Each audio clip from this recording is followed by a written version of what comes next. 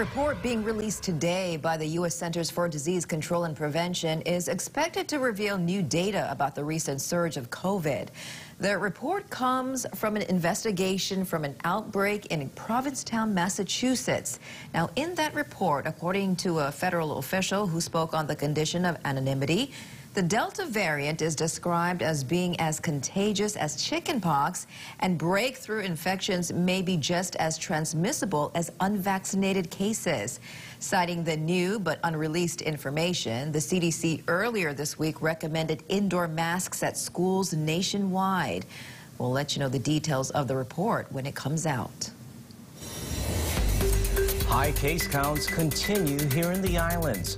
The state reported 234 new infections yesterday. That number included case counts from Monday and Tuesday because of a reporting problem, and officials say there's still more cases that need to be updated. Two more people also died, an Oahu man in his 60s and a Big Island woman in her 40s who had no underlying medical issues.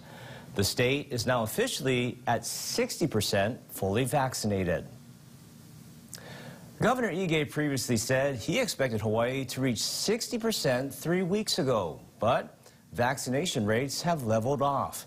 Now, if it remains at or below 65%, the Hawaii Pandemic Applied Modeling Work Group says Oahu could see about 700 new infections a day come November.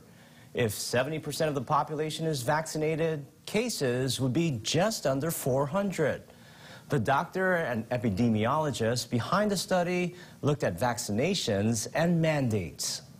We're in a worse situation right now than we were a year ago, which is uh, very alarming. Mask wearing, restricting people to concerts, you know, everything that we didn't like about the tier system may have to come back into play if we continue to give the virus a chance to become more serious and more infectious.